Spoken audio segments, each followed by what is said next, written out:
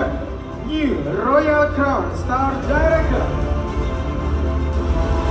Ari Suryanto dari Makassar.